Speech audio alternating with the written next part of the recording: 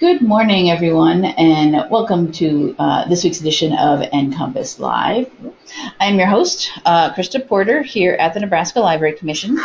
Uh, NCompass Live is the Commission's weekly online event, um, webinar, webcast, online show, whatever. Uh, we, um, whatever you call us, we are here live every Wednesday morning at 10 a.m. Central Time. However, if you're unable to join us on Wednesdays, that's fine. We do record the show every week, and you can always go to our website and see all of our previous recordings there. And I'll show you where that is um, at the end of today's show. We post the recordings there, um, any presentations, like in this case, PowerPoint presentations that are available, that are used during the show, and um, any handouts that might be included. Um, I also put links to any websites that might be mentioned. We have a Delicious account to collect all of that. So all of that will be available to you afterwards. Um, in the recordings. Both the live show and the recordings are free and open to anyone to watch. So um, please do share with your friends, uh, colleagues, neighbors, family, anyone. Great. yeah, anyone who you think might be interested in any of our topics. Uh, send them to our website and they can watch any of our live shows or all of our recordings. Um, we do a mixture of things here, uh, book reviews as we have today. Interviews, mini training sessions, demos of new services and products. Um, basically, the only criteria for our show is that it be um, something for libraries. Um, either something libraries are actually doing out there, uh, some new service or product available to libraries, something new out of the box they might not have been thinking about, but it's all library related. It all comes back to libraries in one way or another. Uh, we do bring in guest speakers to um, to the show sometimes, but we also have uh, Nebraska Library Commission staff do shows. Um, and today, well, we were supposed to have a mixture today. yes, unfortunately. Um, right next to me right now is Sally Snyder, who is our uh, at, here at the Library Commission, uh, coordinator of Children and Young Adult Library Service. And um, with us, it was supposed to be joining us for today's topic, um, Jill Annis, who's from Elkhorn Middle, uh, Grandview Middle School, but um, she was unable to join us today, um, health issues. But yes, um, that's okay. Sally is going to play the part of both herself and Jill today. so I'll be reading Jill's descriptions Mhm. and trying not to stumble over words. I read through it this morning, so I'd be a little more familiar. Yeah. And so um, I didn't bring a hat to put on Jill, but um, you'll probably recognize the difference in um, phraseology Mhm. between the two of us. Yeah, and she'll try and say, no, this was Jill's, one was Yeah, mine. Jill whatever. says, Yeah. something like that. Um, so, and our topic for today, as you can see, is best new teen books of 2016. And you can see from the slides here, um, this is actually a session that was that is done every year, um, both a teen version and a children's one that Sally does at our Nebraska Library Association and Nebraska School Librarian Association annual conference. And um, after that, I always have her come on the show and redo it for anyone who couldn't make it to the conference. And usually, last year Jill did join us as well, Yes, so that is our usual thing, but just not this year. didn't happen this year. um, And I don't want you to take lots of notes because you can get Right. the handout. So just jot down something that will Mhm. remind you what title you were interested in. Do you want to show what those are first or I was thinking yes, but we don't have, we're not set up for that. Oh, we can. Um, Okay. Just a quick, easy, Yeah. here's Here. how to find them. Go to type in NLC. And it should go right to the website. Oops, There we go. When you're on our main website, over here in the search area, just type handouts. And there it is. And the first one, Nebraska Library Commission handouts. I keep telling other people, you can put your handouts here, but I'm the only one, so it just, just my handouts. And you can see there under the 2016 NLA and SLA conference handouts is the best new teen books of 2016 PDF. And right below that says with blurbs. It's coming right. next year. I hopefully in January. And also the children's books with blurbs will happen. It's just a matter of Mm. merging two files and tidying up. So right now, if you wanted to, and anyone who did pre-register, I did send you the link to this page um, yesterday afternoon to let you know if you wanted the list at least ahead of time, you can get that from here right now. Right. And then soon there'll be the blurb version as well. Thank you. All right, so get back So- to this. We'll just get started. A couple of uh, things to kind of give some background is a lot of these books are ones that we receive here at the Library Commission as review books from different publishers. Not any publisher, no publisher sends me every single book Mm. in the children's and teen range that they publish. Thank goodness I would be drowning. but I, am always missing something, but that's, you know, part of uh, working with books. Um, some of them are books that uh, Jill has run across. Mm. And some of them are ones we find at the public library, or occasionally I buy it at the bookstore because I want to talk about that book. So they come from different places like that. And so if your favorite book isn't mentioned, it doesn't mean I hated it or anything. It just means probably I didn't run across it in time for the presentation. Also, we, we do a very general age grouping fiction for younger teens, fiction for older teens. So we leave that up to your discretion. We try to say how old the character is in the book Mhm. or what grade they're in in school so you get a sense of what group would likely read that book. But I don't want to narrow anybody's reading Mhm. because of an age of a kid in the book. So um, the blurbs are written by Jill. Her blurbs are. My blurbs are written by me. I have a couple of things I pulled off of NoveList um, just because I had to quickly bring something together. So we'll get going with fiction for younger teens. And if you have questions like um, Krista said, or you just want to say, hey, my kids love that book, go right ahead and type that in because it's fun to hear people who have teens reading. It's good to hear that they really love it. Yeah. Jill says Nick, 12, has an extraordinary vocabulary due to his linguistics professor father, who pushes him to read and learn words from the dictionary that he has published. Nick doesn't enjoy the vocabulary lessons and would rather spend his time playing soccer with his best friend Kobe. Nick's world begins to crumble when his mother decides to move out of state for a job, and his appendix ruptures at a big soccer game right before regionals. Nick latches on to the eccentric librarian who helps him through his many middle school trials. With themes of divorce, bullying, and acceptance, the author of The Crossover has written another exceptional sports verse novel. Fuzzy, Maxine, Max, is in sixth grade in middle school, and she happens across the newest student on his first day. Fuzzy, the first robot programmed to learn and to integrate the middle school. Lunch ladies, custodians, even the vice principal are computer robots, but Fuzzy is something else. Soon as it is clear that something is amiss at the school, and Vice Principal Barbara seems to have it in for Max and Fuzzy. Hmm. And again, look at the author, Tom Angleberger and Paul Dellinger. Um, yeah, it'll be good. Jill says, My life with the liars. Zylynn, 12, has lived her entire life on a religious compound, making good choices so she can stay in the light. She has been taught that everyone who lives on the outside is in the darkness, and all are liars. One night her life changes when a strange man, who calls himself her father, takes her away from the compound to live with him and his family. On the outside, there are no hungry days and many different clothes to choose from, but Zylynn still believes it is all lies. Her goal is to return to her home before her 13th birthday, where she will receive a special ceremony. This novel opens the reader's eyes to what life in a cult could look like and how children are the ultimate victims of brainwash. Hmm.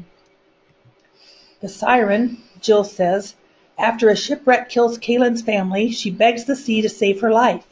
In repayment, Kahlen must serve 100 years as a siren of the sea, her voice sending innocent lives to their death in order to feed the ocean.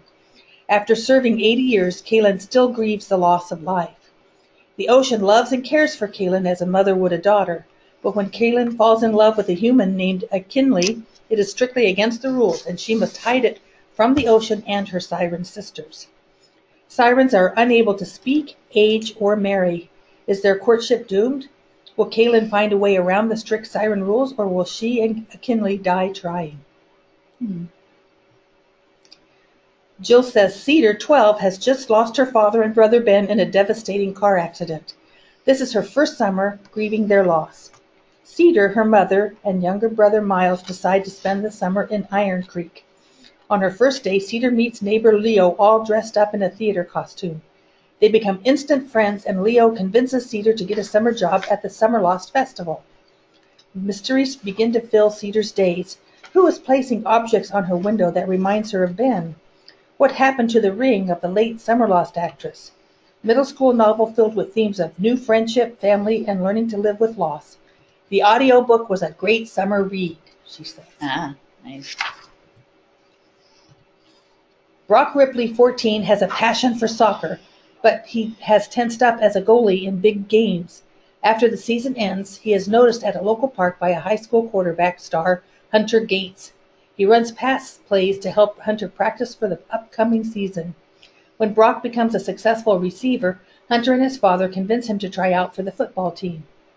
After freezing in middle school soccer playoffs, Brock doesn't want to be labeled gutless in football. When Brock befriends a new student, Richie Fong, he begins to see how Hunter and the other football players are bullying Richie. Brock, does, Brock wants to stand up for his friend, but he doesn't want to lose their respect on the field. With short chapters and plot twists, I highly recommend this coming of age novel that helps to teach students to stand up for what is right, no matter what the outcome. Raymie Clarke, 10, has come to realize the only way to get her father back is to win the 1975 Little Miss Central Florida contest. Her father left town two days ago with a dental hygienist, and he will see Raymie's picture in the paper, and he will have to come home to congratulate her. in order to win the contest, Raymie needs to do good deeds and learn how to twirl a baton. She enrolls herself in a baton class with Louisiana Elefante, who has a show business background, and the headstrong Beverly Tapinski, who wants to sabotage the contest. As the competition approaches, an unexpected friendship arises between the three girls. A novel of love, loss, and the struggles of growing up in a small town. A very good middle school read. Hmm. Whoops, I turned my page too soon. Sorry. this is a new series by John Flanagan called Ranger's Apprentice The Early Years and this is book one The Tournament at Gorlan. Halt's beginning years as a ranger starts with him working with Crowley to find a way to reunite the old school ranger corps who have been systematically fired by Morgarath, Baron of Gorlan, and replaced by toadies. The Baron is holding the king for safety in his castle, and it looks like Prince Duncan is ransacking the northern part of the country for his own enjoyment.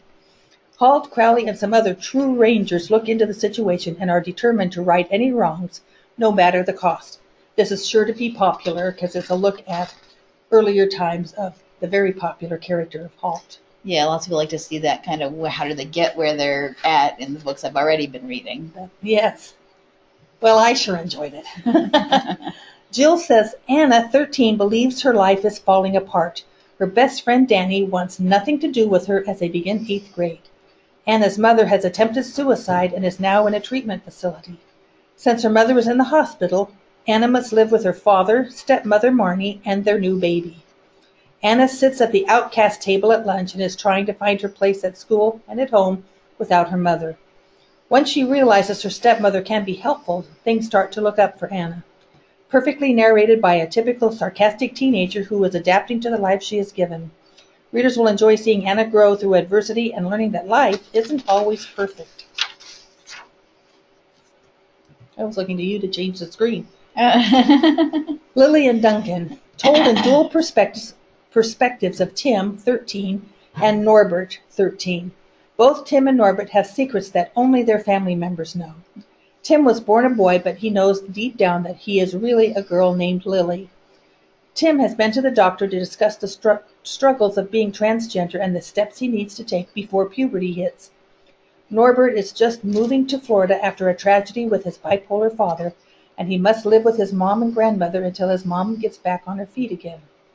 Norbert doesn't like his name or the fact that he has bipolar disorder either. Tim befriends Norbert and nicknames him Dunkin for his love of Dunkin' Donuts. Once school starts, the basketball team notices Norbert's height and wants him to try out for the team. Norbert makes the team and must decide if he and Tim can stay friends as Tim is being bullied by the athletes. Will Dunkin stand up to his basketball teammates and will he learn to manage his bipolar medicine?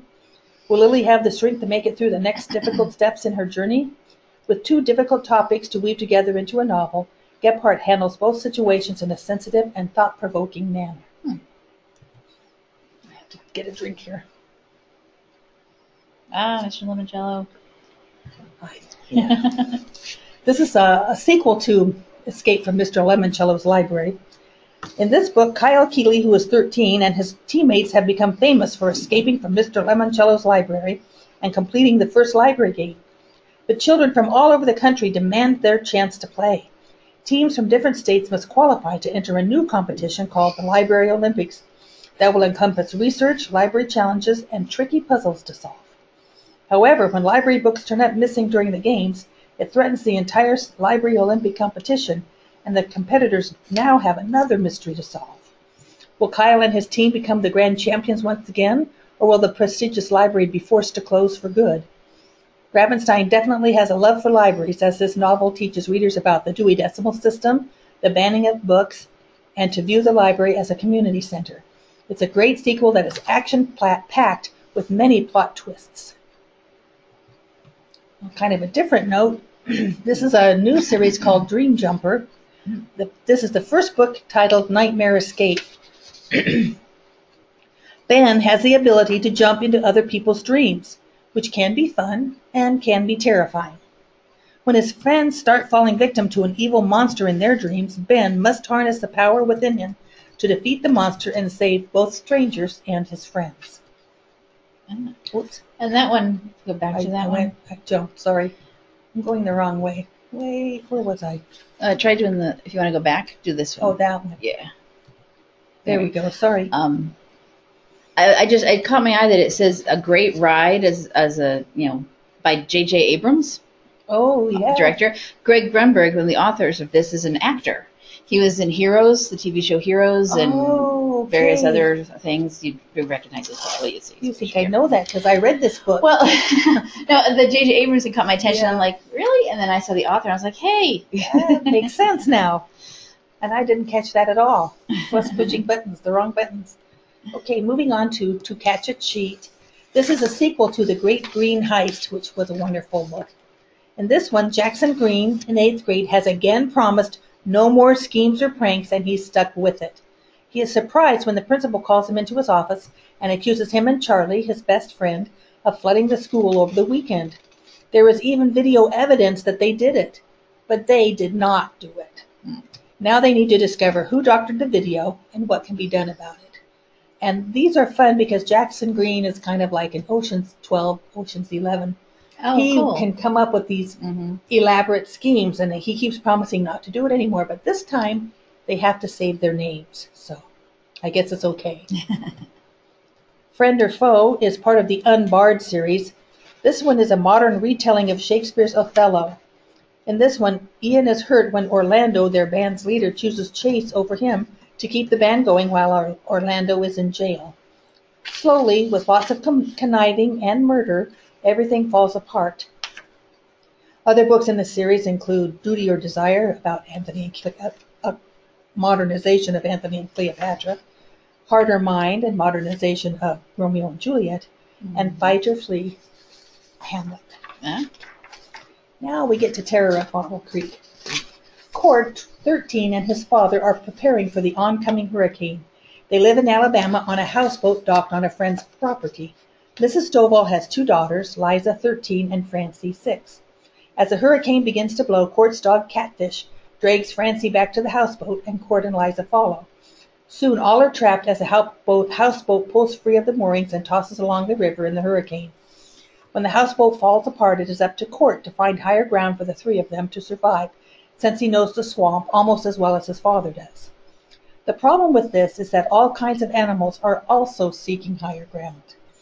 This is a Golden Sower nominee for 2017-2018. Oh, nice. So local. Yeah. Nebraska. Yes, good point. Hmm. Book two in the Masterminds um, series. In book one, teens Malik, Eli, Tori, and Amber just discovered that their town of Serenity, New Mexico, is an enormous science experiment testing the effects of cloning master criminals. After finding out that their town isn't perfect and that they are, in fact, the test subjects, the teens break free of the town and their families.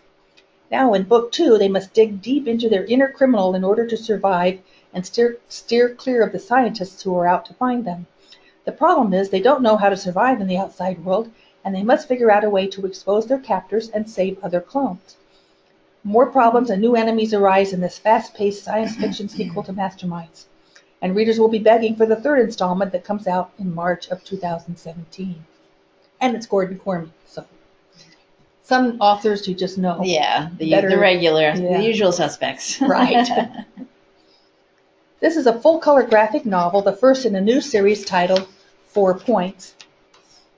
It is 1860. Twins Alex and Cleopatra, called Cleo, are 12, and they are on their own while their father has been gone for months looking for work. Soon they are traveling too, looking for their father. And they may go to San Francisco to answer an ad for $200 from a man, man looking for his 12 year old red headed grandsons. Edwin and Science, Silas, also red-haired twins and a bit older, have the same plan. It isn't long before one of each set of twins is shanghaied onto a ship sailing around Cape Horn. The other two get together and hide on another ship sailing to the Isthmus of Panama. They plan to hide on the train across and sail up to San Francisco, but fate intervenes.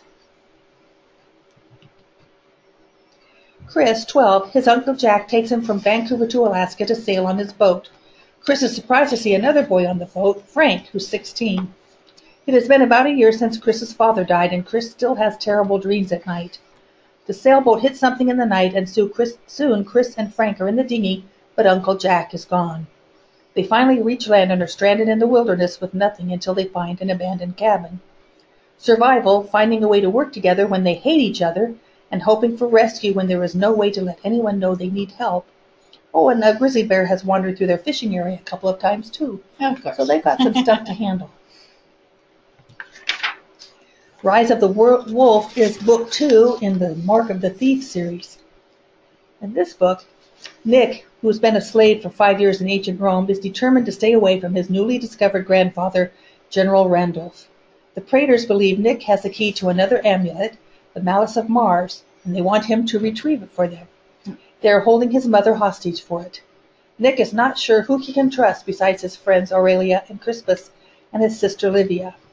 Training as a charioteer prepares him for the challenge from the Praetors when the first race of the Ludi Romani Games in honor of the Emperor. Lots of intrigue and danger. And book three will come out at the end of January next year.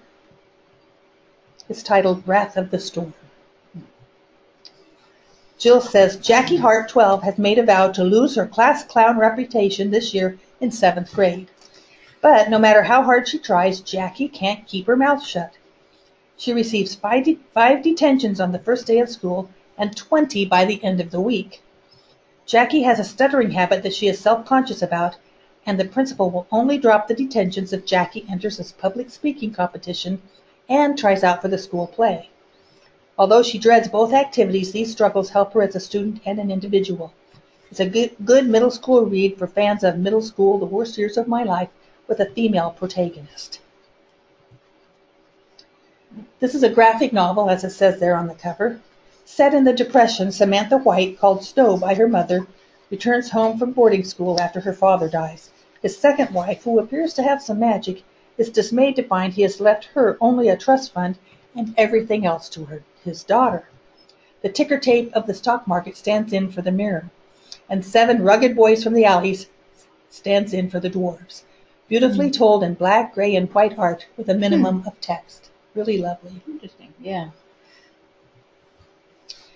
Zen Starling is a petty thief to help support his mother and sister and loves to ride the trains that travel in minutes through a gateway to other solar systems. This futuristic story shows, shows Zen pretending to be a lesser known member of a wealthy family, but it backfires and he ends up on the run. Um, Kirkus says there's at least one sequel coming, but I haven't seen any um, information about what it might be, when it might come, and what its title might be. Love this book. This is book one in a profo- proposed four book series. The series is called Track. Castle Crenshaw, Call Me Ghost, in seventh grade, has been fast ever since he and his mom ran away from his father, who was threatening them with a gun. Ghost is often on the edge of trouble, but really doesn't want any, and he doesn't want to upset his mom. One day he watches a track team practicing and stands up and raises the runner he thinks is too smug. Coach offers him a chance to try out and be on the team, but he has to keep up his schoolwork and stay out of trouble. He tries, but it is hard for him. Coach knows where Ghost is coming from and has been coaching for years to help kids stay out of trouble. And I'm excited that this is a, a series about track because Mhm. um, we have football and basketball books a lot, which are great, Yeah. but other aspects of sports as well. Done a lot too. of other sports, yeah. Baseball, a lot of baseball books a lot of baseball. That's true. Yeah. The Secret Language of Sisters. Tilly, 14, and Rue, 16, have always had a connection. Tilly is impatient and always moving. Rue is calm and together. When Tilly impatiently texts Rue again and again to pick her up, Rue breaks a, a rule and texts a brief reply while driving and ends up in a crash. Now Rue has locked in syndrome, where she knows what's going on, but she cannot communicate with anybody. And no one knows that's, that's her condition. And that is just the beginning. Chapters alternate between the sisters' viewpoints. Her sister does figure it out, and Rue can move one eyelid. Just one. That's how she communicates. Good family story, though some reviews say the texting and driving message is a little heavy handed. I didn't think it was was so much, but Rick Riordan again. Um, how can you go wrong? This is the first book in the Trials of Apollo new series. It's titled The Hidden Oracle. Apollo was sent to Earth as a 16 year old boy with missing memories because Zeus blames him for the war with Gaia. Now he has none of his former powers and apparently must complete a mission before he will be restored. Percy Jackson helps him and his new friend Meg get to Camp Half Blood, but he has his own problems too. He's only in the story limit, in li- limited amount. There is plenty of trouble to go around. Demigods have been disappearing, the Oracle of Delphi has been cut off, and there seems to be a conspiracy working to destroy the status quo. It's humorous. Apollo often rants about how wonderful he usually is, and now he must face danger with none of his powers. Oh yes, Rick's been very busy because yeah. this is the first, uh, the second book, excuse me, in the Gods of Asgard series. Magnus, Chase, and his friends must find Thor's missing hammer before the giants decide to attack our world. And Loki is up to Mm. something. of course. too. Interest will still be high for this mythic series by Riordan. For both of them, actually. Um, Jill says, eighth grader Max Crumbly is experiencing public school for the very first time. He was glad to get out of homeschooling with grandma, but public school has been one humiliation after another. Max throws up on the school bully. He lost a race due to needing to go to the bathroom and has been locked in his locker twice so Hmm. far. Max is documenting his journey in an illustrated journal of his middle school ups and downs. Will Max be able to get out of his locked locker or will he be stuck there the entire weekend? What other trouble can Max get into? Will he be forced back to homeschooling with Grandma? It's a new series by the Dork Diaries author, author that will be sure to attract the Diary of a Wimpy Kid fans. Uh, so it did look similar. Just had the does- same, yeah. Yeah, same. art style. Yeah. This is a heartbreaker. Oh. Um, Jack, 12, this is from Novelist, I'm quoting, tells the gripping story of Joseph, 14, who joins his family as a foster child. Damaged in prison, Joseph wants nothing more than to find his baby daughter, Jupiter, whom he has never seen. When Joseph has begun to believe that he'll have a future, he is confronted by demons from his past that force a tragic sacrifice. Gary Schmidt is an excellent author, and this is another outstanding title. Astrid Sullivan, 17, lives in Detroit where the latest thing is racing horses called Titans, which are actually machines. Hmm. Her family has fallen on hard times and she jumps at the chance to ride a Titan in the race circuit this summer with the hope of being able to save her family's home. Racing is dangerous and the other jockeys see her as an intruder in their domain. And is her horse Paddock really responding to her with affection and emotion, or is she just imagining it? Appealing hard luck story with a tough heroine and her supportive crew. The last place on earth, Jill says Daisy Cruz, 16, is worried about her best friend Henry Hawking because she hasn't heard from him in days. Daisy believes an awkward moment they shared has ruined their friendship. When days pass without any contact from Henry, Daisy knows it has to be more. Plus, many students and staff at school are suddenly becoming sick. She finds a note on Henry's desk and believes he is in danger. She follows the clues to Los Padres National Forest and finds an underground bunker. Davy is thrust into a potential apocalypse that she is not well equipped to handle. Can Daisy become a survivalist, or is this all just a bad dream? Themes of friendship, loyalty, and family are depicting in this engaging mystery. Another uh, graphic novel by Raina Telgemeier. Catrina and her family have moved to the coast of Northern California for the sake of her little sister Maya, who has cystic fibrosis. And Cat is even less happy about the move when she is told that her new home is haunted, while Maya sets her heart on meeting a ghost. Maya is curious about death as hers appears more imminent than other children's, and she is also interested in the Day of the Dead celebration as a part of her own history. Her mother is from Mexico, their father is white.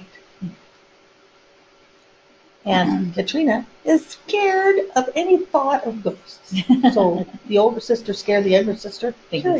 Yeah. Some nonfiction for teens. This is a history of modern forensic science, and the author starts for, with the first test for arsenic poisoning that happened in the 1800s, and then moves forward through criminal profiling and fingerprinting and, and where those started, as far as we know, and how they've been used in determining dead, the dastardly deeds. And Mhm. by the time I got done reading this book, I thought everybody wants to kill everybody. but it's very well done and good information, and teens will be fascinated by the Mhm. topic. There's a lot of TV shows that are about that now too on true, some yeah. of the cable channels. Yeah. Good point. This is the third book in the Deadly Diseases trilogy. The first one was Red Madness, and the second one was Fatal Fever about Typhoid Mary. In this title, she briefly hits on previous bubonic plague pandemics, but focuses mostly on the one that hit the U.S. in the early 1900s, having started up again first in China, then Hong Kong, India, and beyond. Excellent research told with plenty of photos and illustrations from the time, and you'll be depressed to know that yes, bubonic plague is still here. I mean, It still here. exists. Yeah. It still exists in the U.S. Mhm. in um, mostly in animals, not people. Scientists in the Field series. Sharks. This is about the great white shark, and the author noted that while he was researching for this book, he only saw calm sharks, none of the frenzy that the movies have focused on. So he was rather impressed with these Mhm. sharks. And the book follows Dr. Greg Skomal, who is a biologist and head of the Massachusetts Shark Research Program. And he's working to understand the habits and, and behavior of the great white shark to give us more information about it. And how can, how can you be, go wrong with this book on your shelf? Yeah. Um, Thought it was Shark Week. there you go.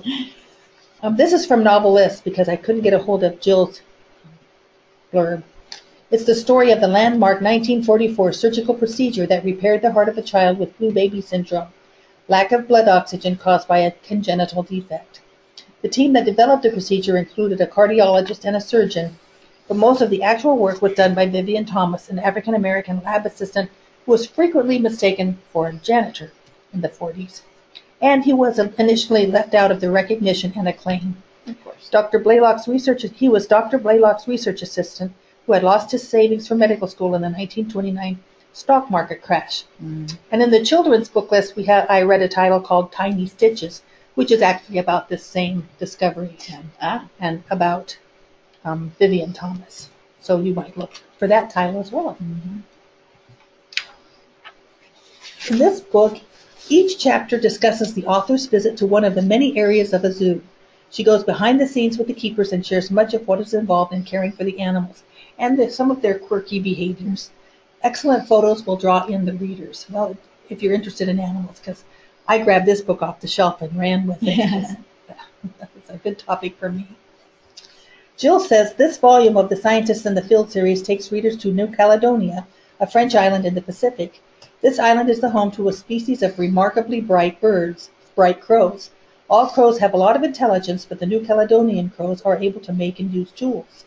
Turner tracks a team of scientists who observe the crows in the lab and in the wild, tracking their problem-solving skills and social behavior. Colorful pictures throughout, with detailed scientific observations comparing crows with other species, and concluding with an Ask the Author session, section. It's another great volume to add to the nonfiction section. Some fiction for older readers. Jill says Celestine, 17, lives in a dystopian society where everyone is required to be perfect, so I'm out of luck yeah. Just forget it. Those who fail to show perfection are branded with the letter F and are considered flawed. Flawed citizens are to live by strict laws and are bullied and ostracized by the public. Her entire life, Celestine has been a rule follower and overachiever until one day she aids an elderly, flawed man on the city bus while everyone looks at her in disbelief. That one decision completely changes her entire life. Will Celestine be considered flawed and be branded? Action-packed novel that has the reader contemplating human nature, and the cliffhanger ending will make you want to read the sequel, Perfect, that comes out in April next year. Yeah, of course. Hmm. Sammy, 18, is a determined high school senior with her whole life ahead of her, winning the debate championship to, gradu- to graduate top of her class and head to New York for college. Then comes the worst diagnosis of her life. Sammy has a genetic condition that will rob her mind and deteriorate her muscles. The news is extremely hard to believe since Sammy has a photographic memory. Sammy wants her future self to remember her senior year in high school and the days that follow. She decides to write a memory book so she will be able to look back on when she can on it when she can no longer remember. As the weeks progress, the reality of her condition is brought to light. Will Sammy be able to compete in the debate finals? Which of her friends will stick by her side? With humor mixed with sadness, this genetic disorder is brought to life in journal entries by Sammy, her family, and friends. Highly recommended for fans of The Fault in Our Stars and 13 Reasons Why. Mhm. Sounds very similar. Yeah. Jill says May Bar- Mare Barrow, 17, has come a long way from living in the stilts. Mare is a red with silver abilities to control electrical energy. A fierce battle has erupted against the Silvers and the Red Rebellion led by Mare with Cal by her side. Unable to fully trust anyone, Mare's goal is to track down the other new bloods like herself in order to form an army capable of taking down King Maven, who is murdering these mutants in order to force Mare back into his control. Mare's desire for revenge may lead her in the wrong direction, and at times she shows similarities to Queen Elara, whom Mare despises. Hmm. Will Mare be able to locate the new bloods before King Maven, or will she let her desire for re- revenge ruin everything? Fast-paced sequel to Red Queen, the cliffhanger ending will have fans anxiously awaiting the third installment titled King's Cage, which hits the bookstores in February of next year. Not too much longer now to wait. No. 17 year old Poppy stumbles into a secret workshop at the infamous Grossholz candle factory in her hometown, and soon a wax boy called Dud is helping her uncover an evil plot that threatens her hometown of Paraffin, Vermont. He can walk and talk and Interesting. get get his arm or something bent and get it back straight again. hmm this author has an interesting imagination. I've Yeah. enjoyed all of her books so far. They're not too scary for me, which is wonderful. They're a little bit scary. Oh, yes. Mm-hmm. This is the first book in a new series. In an alternate world, it is 1942 prior to Pearl Harbor, and the U.S. government has just allowed women to serve in the military on the front lines. It, this book follows four women who volunteer for service, and after boot camp soon find out what war is. Two serve together in Africa, one hopes to be a medic, and the fourth is in intelligence. It is, as to be expected, gritty and tough, and includes both men supportive of women in combat and men who find it ridiculous. Hmm. I don't know how many books are going to be in this series, but there's certainly going to be more. Jill says Nathan, 17, is a half-blood. His mother was a white witch, and his father was the most notorious black witch in history.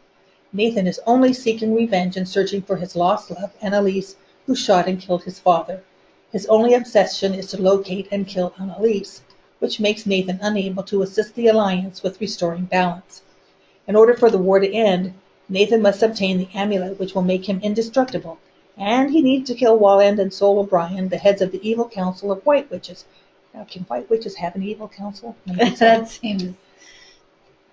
Gabriel holds a key to Nathan's heart and soul, but the consequences are devastating and beautiful. Nathan's life comes around full, full circle, and the conclusion is both thought provoking and haunting in this finale to the Half Blood trilogy. Mm. Again, Jill says a graphic picture surfaces through social media of a drunk, topless, unconscious teenage girl during a high school party. The next day, four students are arrested for sexual assault. Small 10 mentality begins questioning the victim, blaming her, and taking the side of the athletes. Narrated by senior Kate Weston as she begins to question the, re- the reactions of her friends and peers and the beginning of a new relationship with her neighbor and childhood friend Ben. The truth becomes clear when an obscure hidden video is found of that night. It's found on the web. This book is a must read for high school students and parents to bring awareness of the sad reality of sexual assault and to bring up the obligation of bystanders to speak the truth. This is a realistic fiction novel that has similarities to the Steubenville High School rape case in 2012. Mm.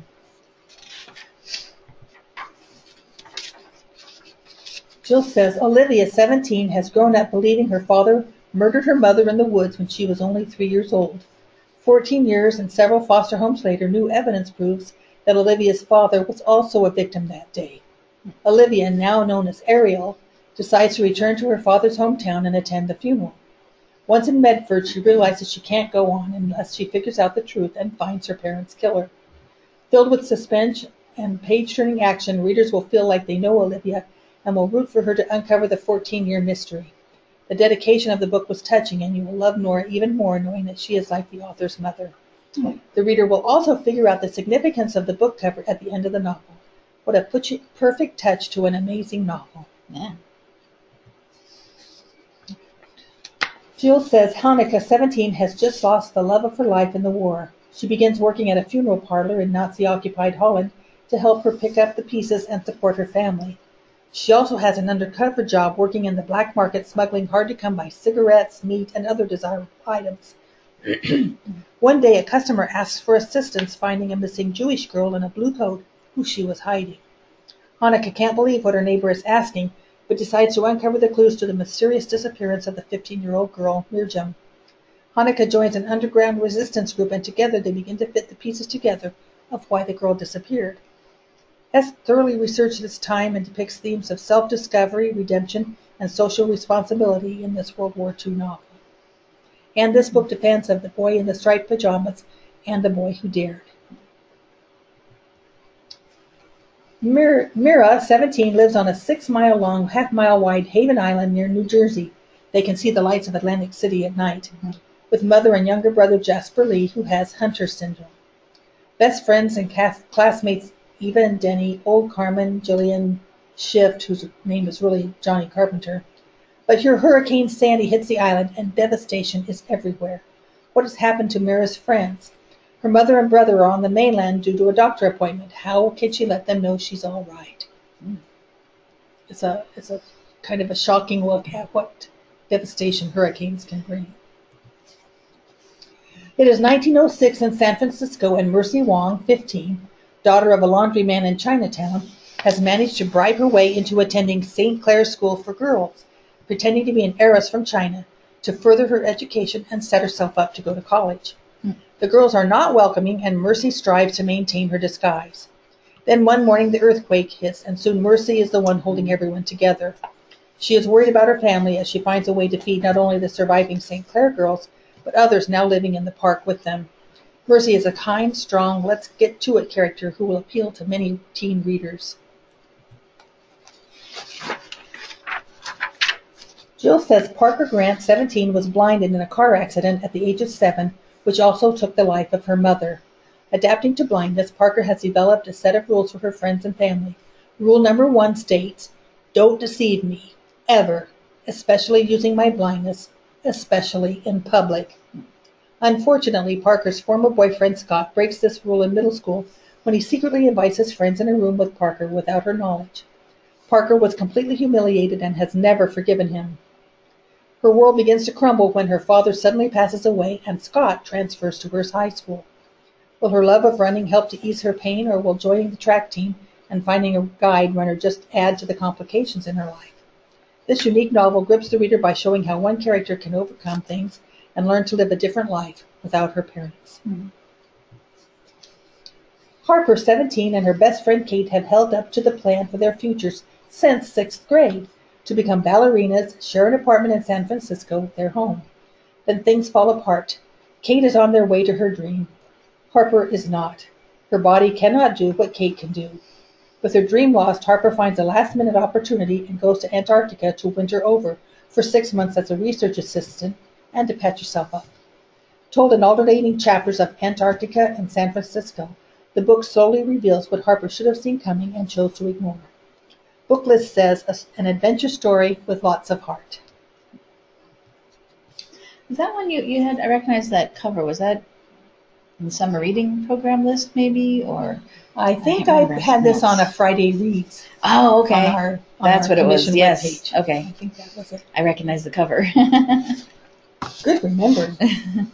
This is a fictional account of the impact of the Great East Japan earthquake and tsunami, which occurred in March of 2011. Kai, 17, is in school when the earthquake hits, and soon everyone is running for higher ground. He ends up in an auditorium set up as a shelter for survivors, and he hopes his mother and grandparents are okay. He has more heartbreak to come. Told in free verse, the novel conveys the terror of the quake and tsunami hitting the land and of the hard situations that follow. Kai's American father had, had left the family and returned to the, New U- to the U.S., and now he hopes to contact him. Excellent book and heartfelt telling of this tragic event. Jill says Emily, 16, knows right from wrong, but even good people make mistakes. Emily was at a high school football game one night and saw Belinda, a classmate with developmental disabilities, being assaulted under the bleachers. Instead of assisting Belinda, Emily froze. Lucas, a football player, also did not aid Belinda but found a teacher instead. The consequences of their lack of action are, are community service at a center for young adults with disabilities. Luckily, Belinda was able to fend off the attacker herself, and she begins trying to pick herself back up and move on. Emily and Lucas form a friendship and start to believe that they are helping at the community center. Can Emily and Lucas find a way to apologize and to help the person they hurt the most? Told in dual perspectives of Emily and Belinda, McGovern's voice for the distinctive characters shines through and themes of regret, love, and forgiveness are portrayed. This is a paranormal book, actually. Um, a 17 year old boy, I have to turn the page to find out. I thought I had his name. His family has for years done a, done a process that keeps the rocks from falling off the cliff and keeps everyone alive. Although lately, as he's been maturing, he's wondered how those rocks, which are really kind of a little bit away from the town, could really affect the town. It's not like in this picture where it Mm. actually would fall on the town. And what happens is he discovers that his family has a deep, dark secret, and that the the ritual to keep the rocks from falling is really more about um, keeping someone alive, his grandmother, Hmm. than anything else. And he has to decide if he's going to support his family or free the town from their potential tyranny. Mm. Part of this is done because he has the ability to pull things out of other people, and that, like, he can pull out your interest in kittens Mm. and use that Okay. to satisfy Ah. the rocks. Mostly that doesn't cause any harm, but a couple of times it has made a difference. So it's an intriguing Mm-hmm. Premise. idea, Yeah. yeah. And what should he do? And I read that book. It sounds like I had didn't, but it was great. it's all your fault. This one was great. Catelyn Singleberry is 17 years old, and she is part of the the family singing group. She's a proper Christian teenager, but she has now been asked to spend the weekend with her impossible cousin Heller Harrigan, a Hollywood wild child, and keep her out of trouble for the weekend Yeah. so they can go to the big movie debuts. And it's not easy. and I just want to note that um, homeschooled is used regularly, and this is in New York, to explain Catlyn's uncool clothing, viewpoints, opinions, attitudes, etc. Hmm. Whenever somebody says, What? She's homeschooled, they say, which Hmm. I found a little irritating, but it is a fun book. The Winner's Kiss is book three in the Winner's trilogy. Jill says Kestrel, 17, has been taken prisoner by her own people and forced to work in a barbaric work camp where she is drugged in order to work long hours under the watch of ruthless guards. Prisoners then long for the nighttime drug that is given for a restful night's sleep. Arin does not know of Kestrel's predicament as he is preparing for war with Valoria. Arin is unstoppable, and as he has gained a new alliance with Dacra, he also has the god of death on his side. Can Arin fully trust this new alliance? Will Kestrel escape the work camp and will Arin be able to forgive her? Action packed finale in the Winner's Curse trilogy. The conclusion will have readers more than satisfied. Jill says, set in January of 1945, when Russian armies were advancing through East Prussia, four teenagers are clinging to the hope of escape. With much research of the tragic sinking of the German ship Wilhelm Gustloff, Sepetys writes in four alternating voices Lithuanian nurse Joana, Polish Emilia, Prussian forger Florian, and German soldier Alfred. In their desperate fight for escape, these four young people come from very different backgrounds, and each has their own dark secret. The connection between the characters brings the novel to life and has readers hoping for their survival in this tragedy. It's a heartbreaking page turner in historical fiction novel that helps readers gain knowledge of a little known part of history and leaves them with a little bit of hope. Maisie, 16, is an excellent high school runner with plans of college scholarships. Dedicated to running, she wakes up early one morning for a jog when the weather turns ugly. Lightning strikes a tree, which brings down the power line. At first, Maisie believes it is fireworks she is seeing, but in reality, the power line causes an electrical fire to burn Maisie, nearly destroying her face. While in the burn unit, Maisie is able to receive a very rare partial face transplant surgery. Will Maisie's mm-hmm. surgery be a success, and will she able to be able to accept her new self and learn to live again? It's an excellent realistic fiction book for fans of The Running Dream, Artichoke's Heart, and Cold Hand's Warm Heart.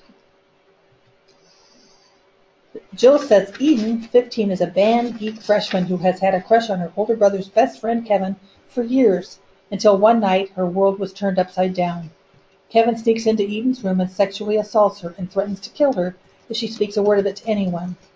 Instead of seeking help from her family or friends, Eden keeps a secret and begins to turn into a completely different person, distancing herself from people and using boys to gain control over her body. Smith's debut, debut novel is broken down into four parts Eden's freshman, sophomore, junior, and senior years of high school. Will Eden break her silence and let her friends and her family know of her attack?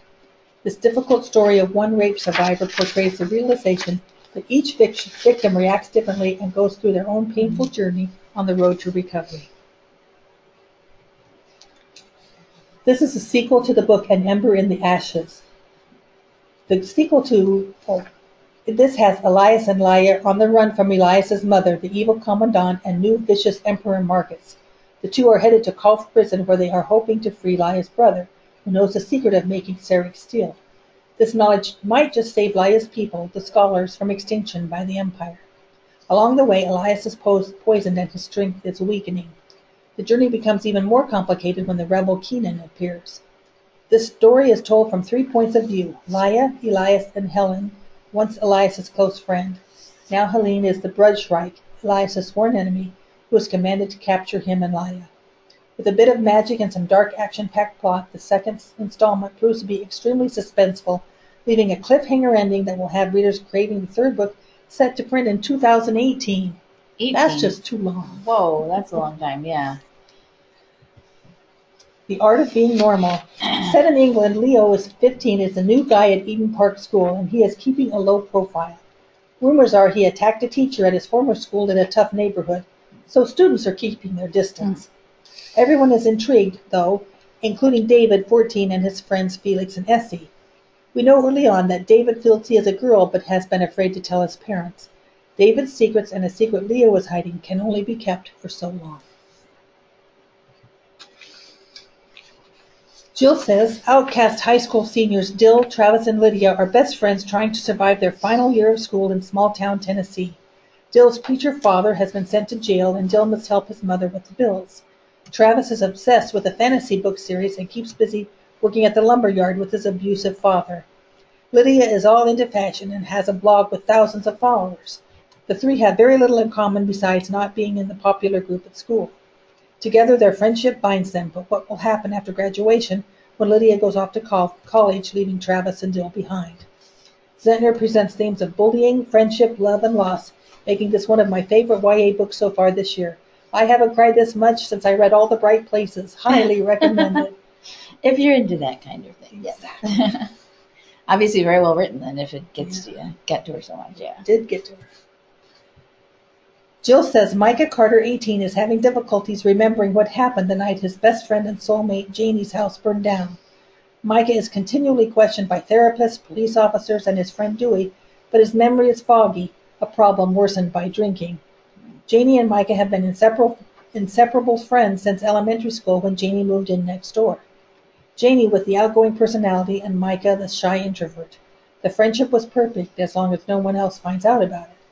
The point of view switches between Janie's thoughts before the fire and Micah's afterwards. This unique writing style and the mystery behind the fire keeps the reader hooked, needing to know and find out what happened to Janie.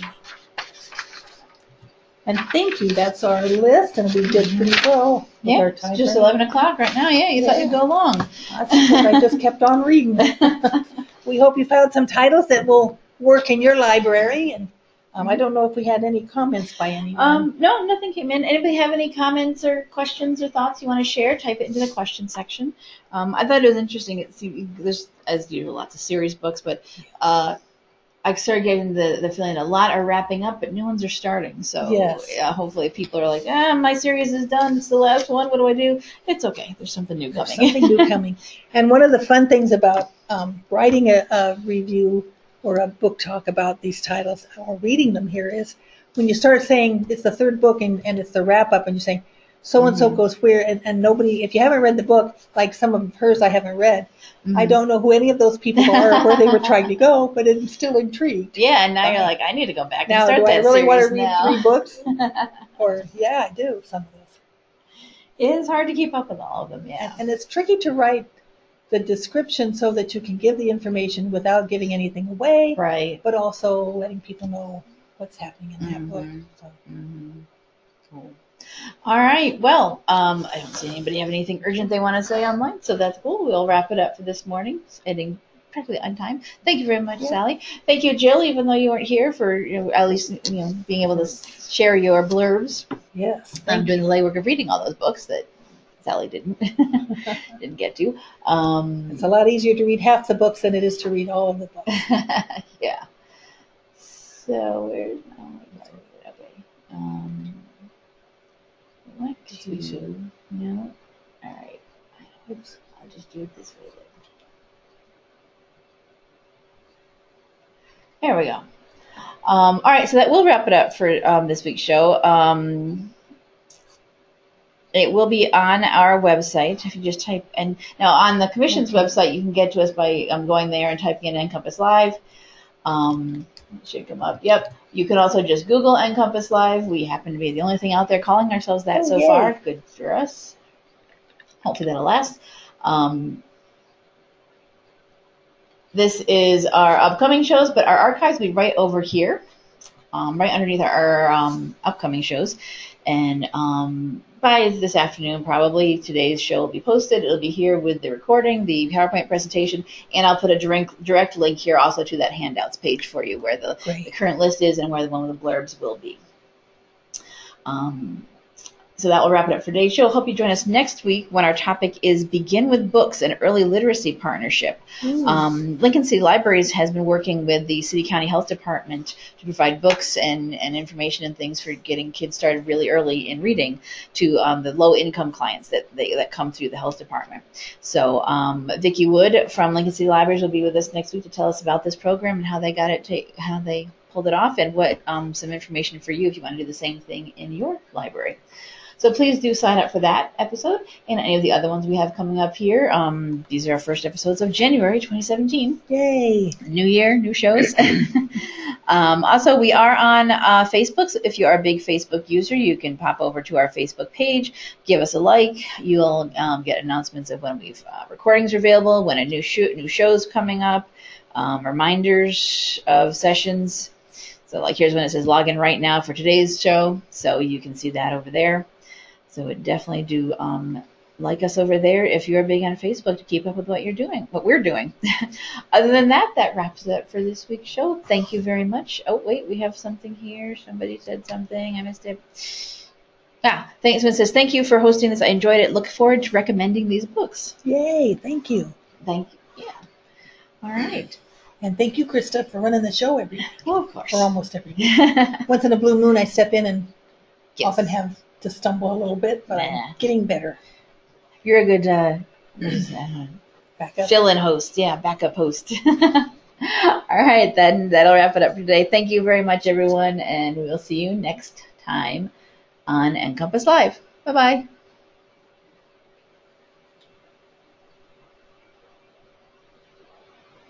Mm-hmm.